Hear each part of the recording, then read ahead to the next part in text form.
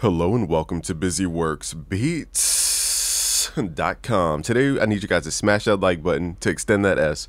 But also too, we're gonna go through Kepler EXO. This is a new plugin in FL Studio. I want to say 21 and above. I can't remember the exact release date. But this plugin is newer in their lineup.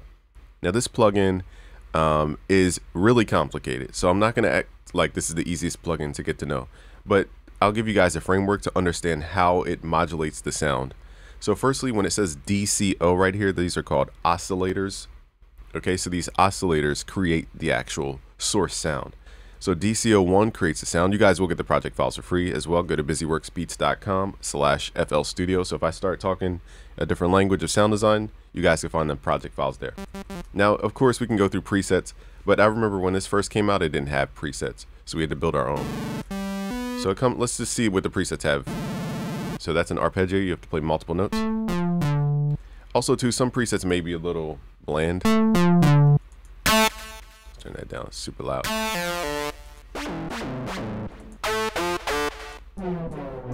So a lot of these are kind of like... That's a pretty cool sound.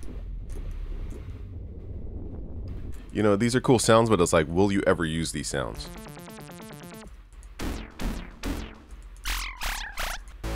Okay, so that's the only thing about presets is you, you really have to ask yourself, are you going to use the preset?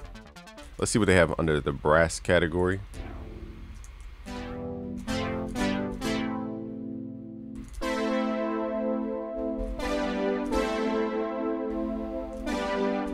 It's a pretty cool effect.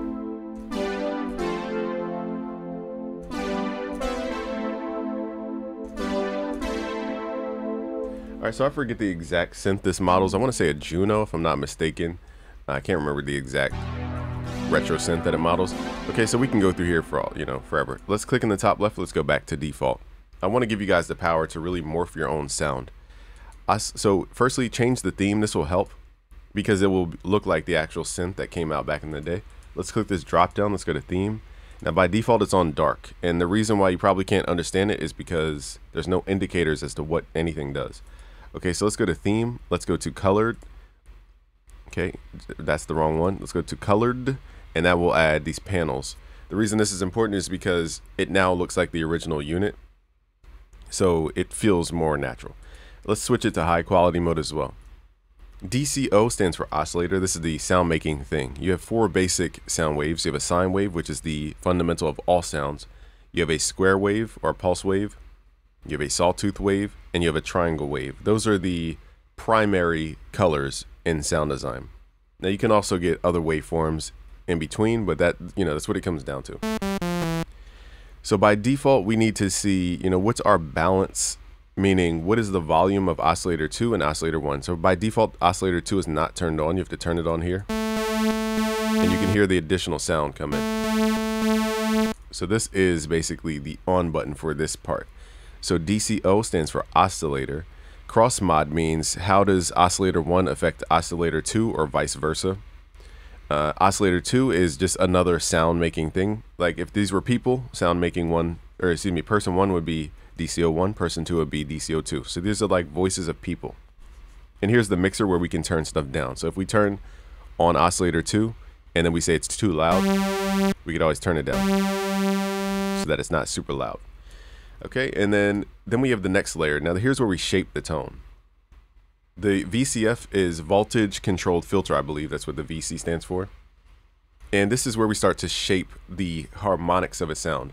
In short, the difference between a saw wave, a pulse wave, and a triangle wave is the harmonic content.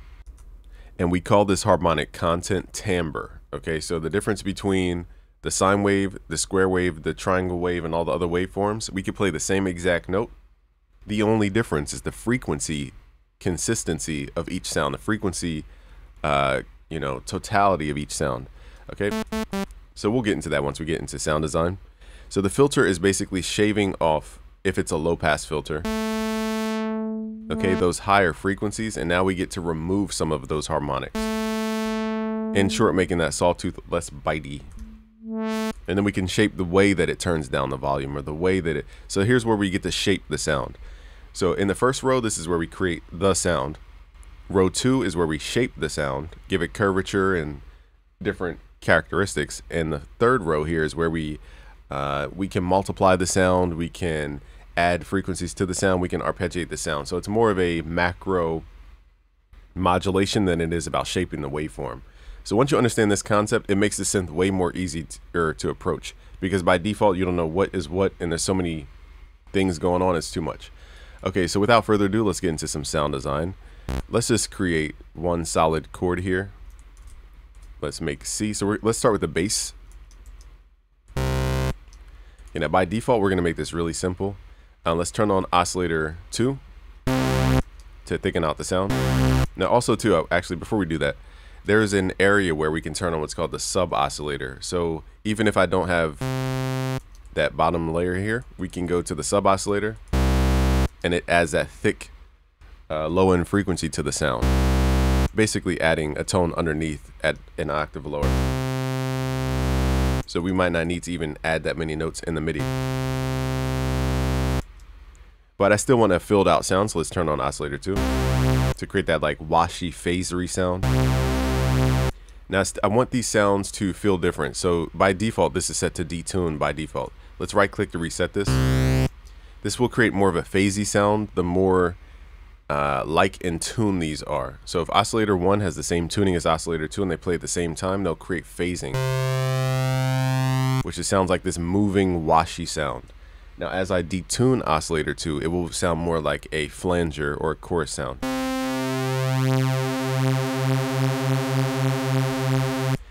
All right, so that's how we get, you know, stereo width out of sounds. If I pan sound two from sound one and they're slightly different in pitch, that's how I can create stereo with. Now by default, I don't see an easy pan button. So that's interesting. Uh, I'm sure it's somewhere. I just can't eyeball where it would be. All right, so another way to do that is add chorus down here. In the bottom here, it says chorus. Let's turn this on mode two. The Juno is known for its like chorus module. There's two modes, one and two, and you can combine the two. All right, so now it feels wider. Um, again, I wish there was a way, or maybe there's a way to pan oscillator too, but I'm not aware of it just yet. That's why I said the synth is so complicated, even for a sound designer like myself.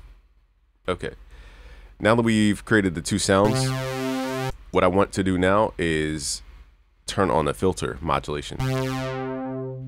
First, I want to set the destination for where the filter needs to move.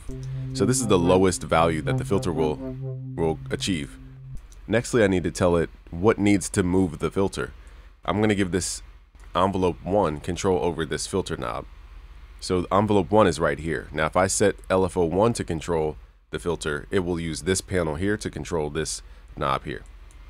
So envelopes you know, the main difference between an envelope and an LFO, a low frequency oscillator, an envelope has a start and a finish. An LFO keeps going. That's the basic difference between the two.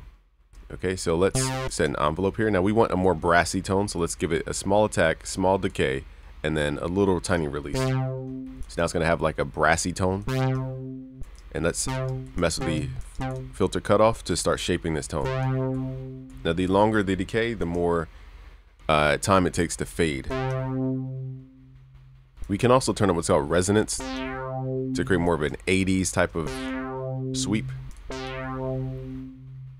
Okay, now what we'll do is we'll start actually writing the chord here. Let's make this like C minor.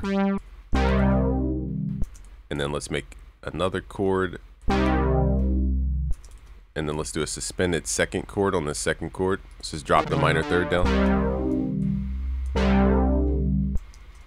Let's make like a Scarface type sound. So right now the sound is very dark, very full. Let's see if we can pull this up an octave. Let's just pull this bass. There we go. Okay, so I still think it could use more bright frequencies. So envelope one, this knob here, or this fader here, is determining the max value. So if I pull this down, the max value for this filter fader to move, it will go from like here to here. Whereas if I turn this envelope all the way up, this will go from the bottom position all the way up to the top and then back. So this sets the range of movement.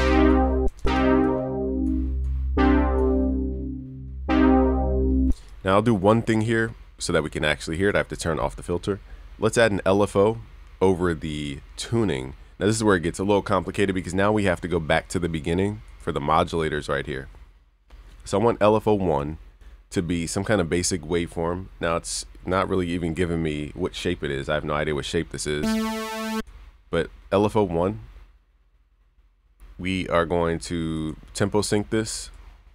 It's, I'm reading values in the top left. Let's go to the top left of the plugin here. And then we can start to hear that movement. Okay, so I'm doing this to both sounds. Now LFO2, okay, I just realized that's a different source.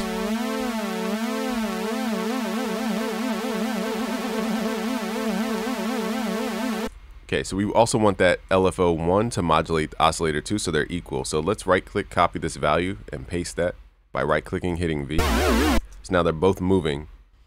And all we have to do now is lower the amount. So let's say it's wobbling too much. Instead of messing with the LFO, which is the another oscillator, we're going to turn down the amount. So let's just pull this fader down.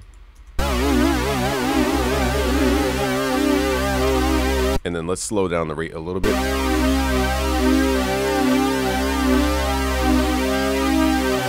Make it more of an 80s wobble than it is like a woo woo, woo like vibrato. So you can hear there's a subtle pitch wobble. Let's pull our filters back.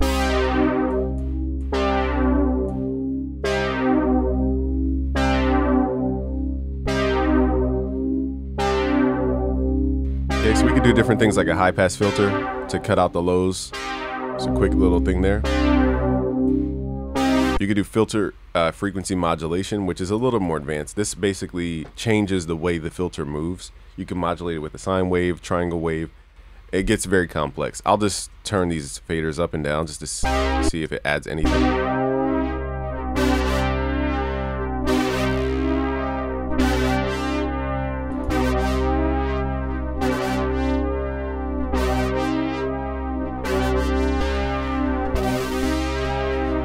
Now, I don't know how we can control what is controlling this filter. It doesn't really say what is controlling this. So I don't read manuals. I'm not sure what exactly is controlling the filter. Where which oscillator is, I'm not sure. It's not clear.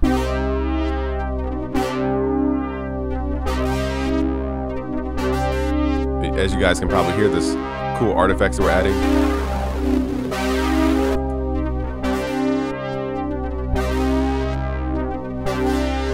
Now we're using oscillator 1 to control the filter. I like the sawtooth ramp.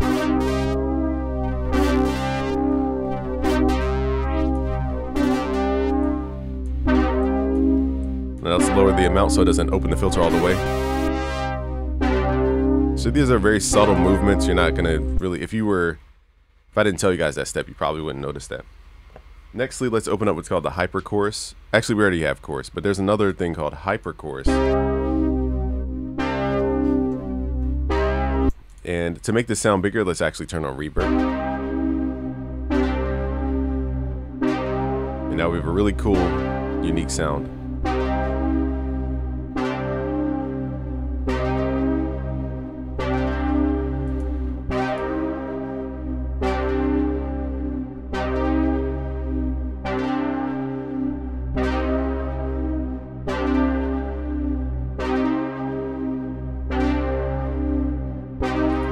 Right, so that is how, you know, we can create our first sound. We have our harmony sound. Let's open up a new Kepler EXO. Now keep in mind, this plugin is not like a quick mess with a couple knobs, get a dope sound out of it. Unless you're going through presets. So I will say this is not really for a beginner at all. So I'm going to move a little bit quicker here. Let's create a bass sound. Let's take these bottom notes, paste them.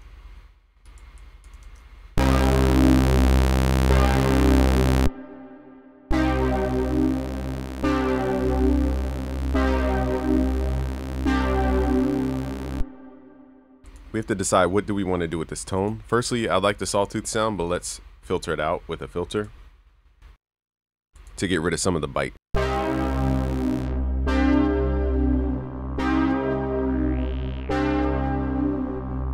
And now I want the sound wider, so let's look at some chorus. Maybe some hyper chorus. A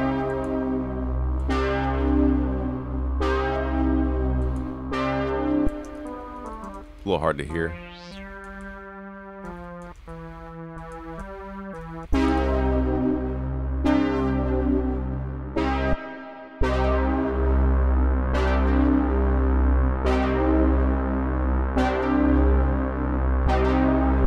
So really, I don't want it, this sound to do too much. Uh, we can modulate the envelope.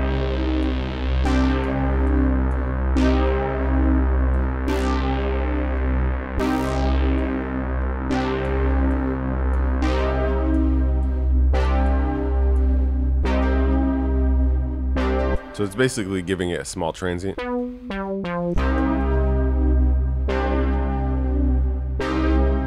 Alright, so the sound doesn't really need to do much else and let's create a top line. Now for this sound, we're going to create an arpeggio. It might be a little too much rhythm, but let's copy and paste and let's use the arpeggio mode.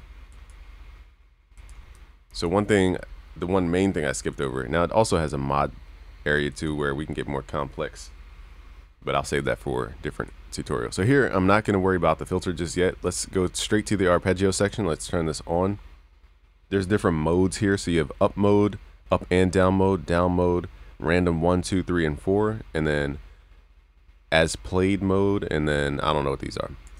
Let's just do up mode, and the range is going to be three octaves. So when I play a note, it will play three octaves of the note. That will give the chords room to breathe and move around. Uh, we can also change the speed of the arpeggio here. So all I want to do for this sound is not do too much. I just want to add a little release to give it pseudo reverb.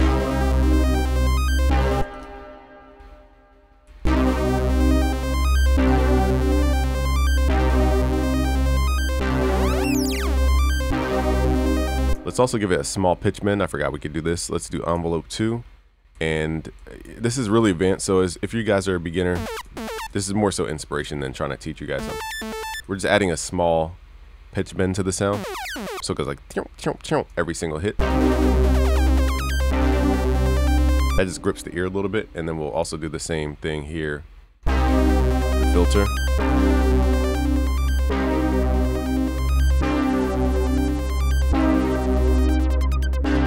So now we have more of a plucky type sound.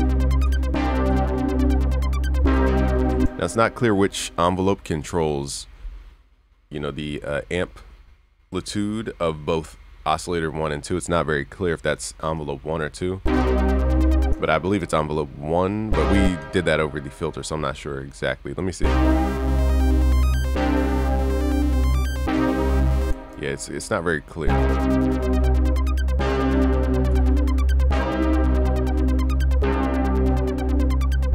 Now start adding some delay, and reverb.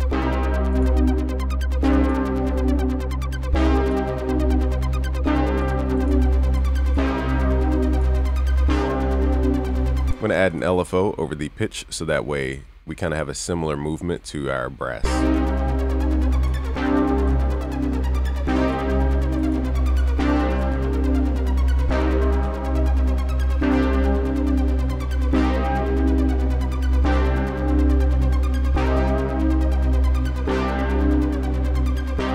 Might even go back to the brass to copy these values. That way I'm not guessing here.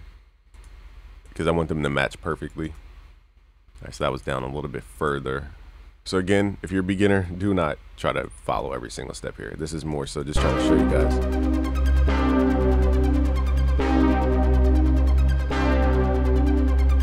Let's add oscillator 2 for more tone.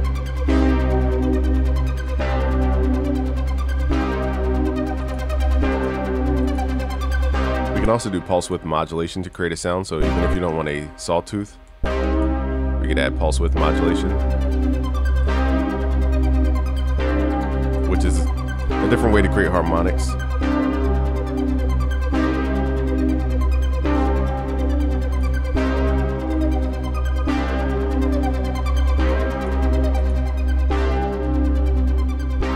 So again, here we're not getting too crazy with the sound.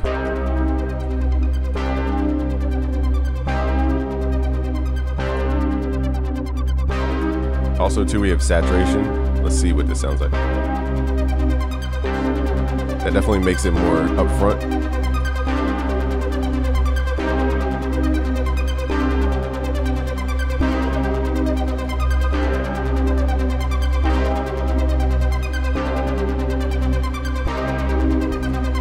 Okay, but normally I wouldn't have the arpeggio that loud. Okay, so let's just arrange some of these ideas. And what I will do here is modulate the channel volume.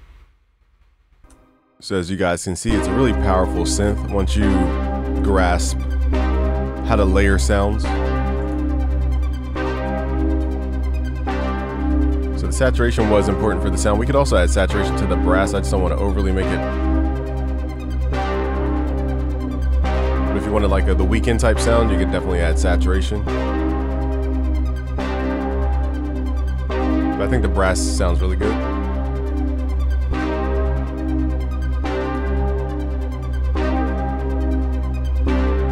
Now again, can we make this full sound with just one preset? Let's see what it sounds like with just the brass. You get about 50 to 70% of the way there, but that bass layer really makes it full. And the arpeggio adds the detail. So to really get the maximum, you know, expression out of this, I would recommend you guys try at least two layers for this plugin instead of just trying to stack everything into one sound. Because with older synths like this, you're getting a more direct sound as opposed to um, like, you know, more modern kind of stacked morph sounds that have combinations of these core sounds. Long story short, if you guys want to learn more about FL Studio, I have a free course. Just go to busyworksbeats.com slash premium and learn more about our FL Studio for Beginners course, FL Studio 21 for Beginners. And also, guys, at the end of the year, we do a deal. So that's going on right now. It's called the Black Box Bundle. It's all of my courses, 68 plus music production courses, plus six of my plugins, plus all of our sound packs, all in one. So just go to busyworksbeats.com slash premium. I'll leave a link below. Um, but that was all I wanted to show you guys was the power of Kepler EXO. All right, guys, subscribe if you're new. Peace.